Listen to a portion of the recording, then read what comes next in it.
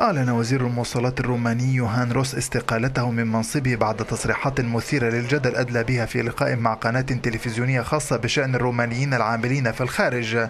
واعتبر الوزير الاشتراكي أن سفر الآباء إلى الخارج يدفع أطفالهم إلى الانحراف بينما تصبح زوجاتهم عاهرات استقالة الوزير الروماني تأتي قبل يوم واحد من تصويت البرلمان على طلب لسحب الثقة من الحكومة تقدم به المعارضة المنتمية للتيار الوسط. وكان البرلمان الذي يتمتع فيه الحزب الاشتراكي الديمقراطي الحاكم بأغلبية كبيرة قد رفض الثلاثاء الماضي طلب ممثل ادعاء رفع الحصانة عن رئيس الوزراء فيكتور بونتا في إطار تحقيق متعلق بتهم فساد وتزوير وغسل أموال وتهرب ضريبي.